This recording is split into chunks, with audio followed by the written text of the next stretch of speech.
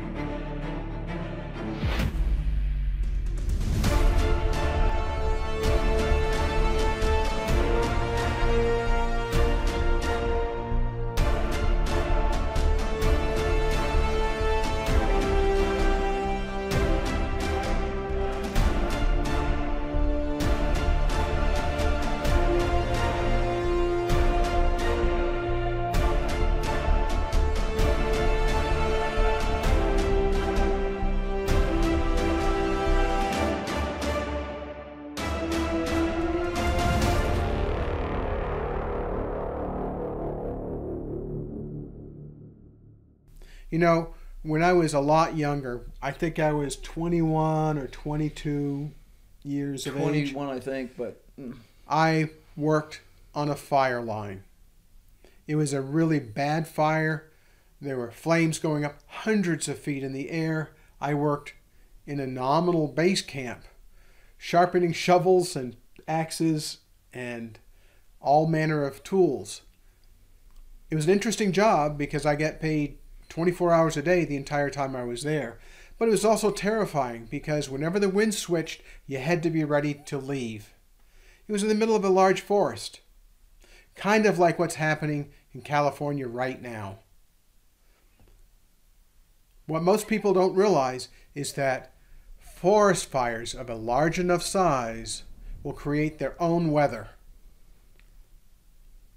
and an awful lot of wind. So they'll just keep on burning and going crazy. People will usually think about their own local problems when the power goes out. Right. The heat doesn't run, the lights don't work, those kinds of things. Well, if you live in the city, you still have water, uh, you may still have heat, probably not. You Mm. definitely don't have lights. No. But there's a lot of other things that go wrong that you don't normally think about. Well, we use cell phones for a lot of our communications. In fact, we don't have any wires coming to our homestead here at all. No cable, although sometimes the cable companies call and say, hey, we're installing cable in your neighborhood this week. Can I put you down for an installation? Henry Why, has- yes, you should. Henry has so much fun with them. I mean, it's the best spam ever. Well, the people don't bother to look to see where we live. And the closest power line is three and a half miles from our location. And that's shared between the local church and the railroad company. The, lo- the closest real power connection is 6.2 miles away. And there's no way I'm going to run 6.2 miles worth of underground cable to get power to our house. Seriously. So we're all solar. We do have an old wind generator that goes to my studio too, and we actually hoped at some point to be able to put another wind generator up on top of the hill, because when the sun's not shining, especially in, during storms, usually the wind's blowing really good. And today the wind is blowing. The weather Howling. forecast weather forecast says it's blowing at 23 miles an hour sustained. I'm here to tell you it's probably 30 or 35 miles an hour. So it's really really ripping. Watching watching grown-ups practically get knocked over is pretty exciting. so there's a lot of things that don't work when the power goes out. We use cell phones for a lot of our communications. You don't think about cell phone service being disrupted, but it can be because a power goes out. Right. Some cell towers have a few hours of battery backup, some have a couple of days worth of battery backup. But in the city or in the gentrified areas of, of a lot of the country, the battery backup is only for a few hours because the idea is that you're only going to lose power for a short while. Right, and they would be a high priority repair area because of the cell towers. But when the when the power goes off in those areas and it's going to be off for a day or two days or more, a lot of times you lose the cell tower. Mm-hmm. And there's other pieces of the communications infrastructure that also go down. For example, we had cell service. It was kind of spotty and Yeah. it barely worked for Irene's business. Right. The problem was it was spotty enough that it was draining our cell phones. I actually sat there and went through every app on my phone and shut off everything.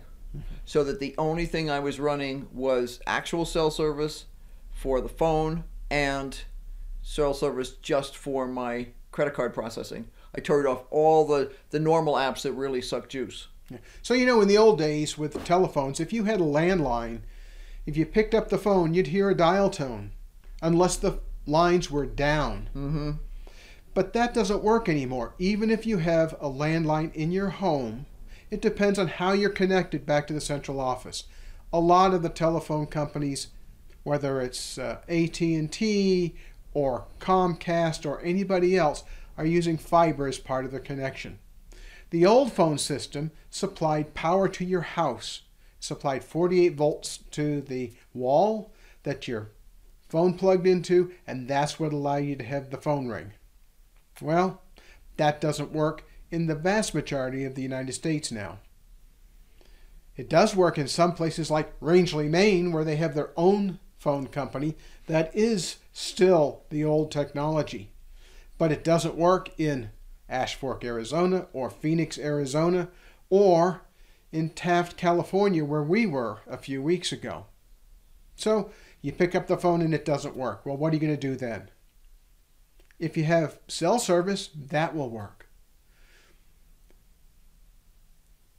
Electricity is an amazingly fragile piece of infrastructure in the U.S.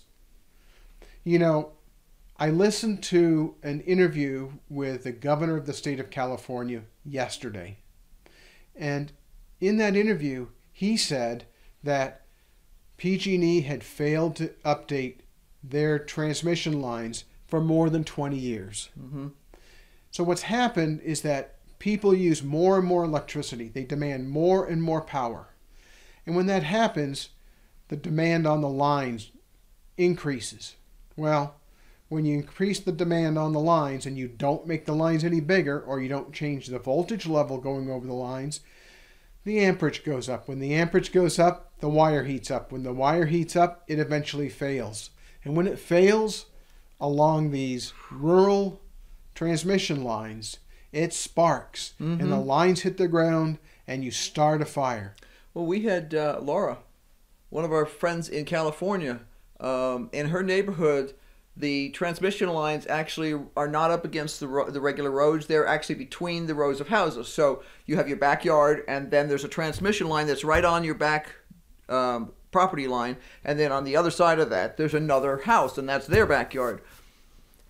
Three or four years ago, the lines caught on fire between the houses in the back. I mean, the whole line burned, and they were able to shut it off. It didn't do really that much damage, but it took quite a while. I want to say a week or two for them to get power back because the tele- the lines were gone, and it took the telephone lines with them because it just burned up everything on the poles. They actually had to replace some of the poles.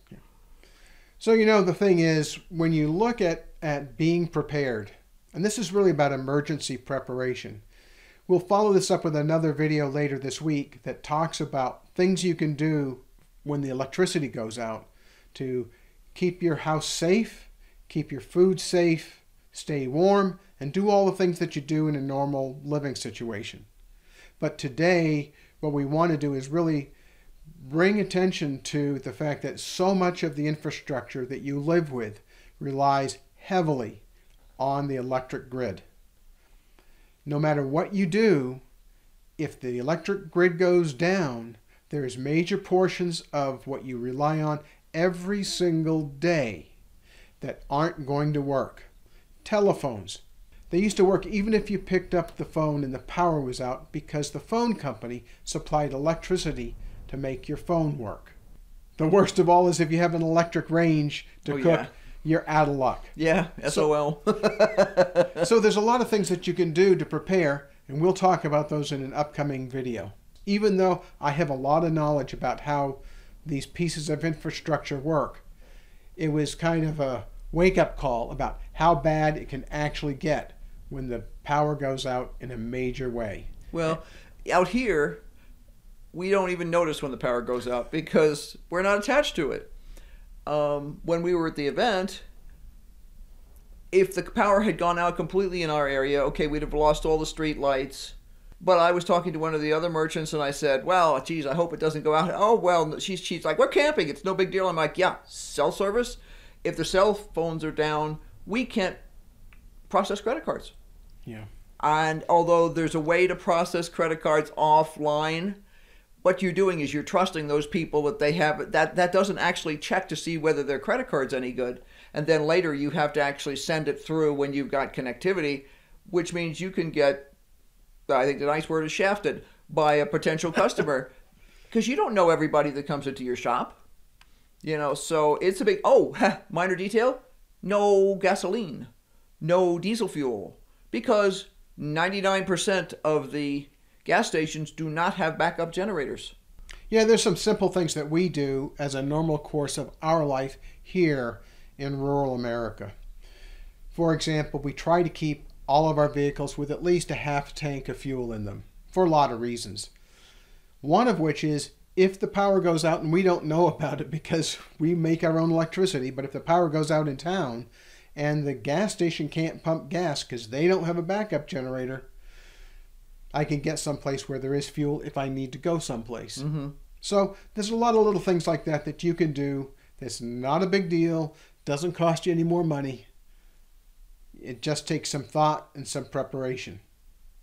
Well, I hope this was of interest to you. I hope it brings some more awareness to how interconnected and how fragile our infrastructure really is in our everyday life in the United States. Well, we hope you found this informative, interesting, thought provoking today. Everybody needs to be responsible for their own safety. And one of the biggest things about being responsible is thinking about it ahead of time. So, if you liked what you saw today, be sure to hit that like button. And if you think you might want to watch something crazy like this again, subscribe and hit that bell button for notifications because we're going to be doing a bunch more videos like this in the next week or two. Uh, it's super important that people be aware of what's going on no matter where they live in the United States. Every place you live, there are issues. And it's not it's not anybody's fault. It's it's the weather. It's the, our weather is becoming more violent. Uh, some of our infrastructure is decaying, and stuff happens. So, see you next time. Bye.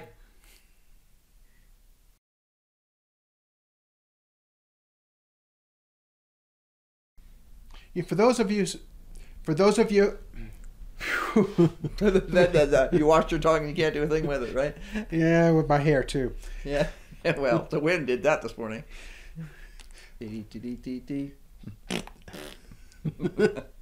You want to do a different ending?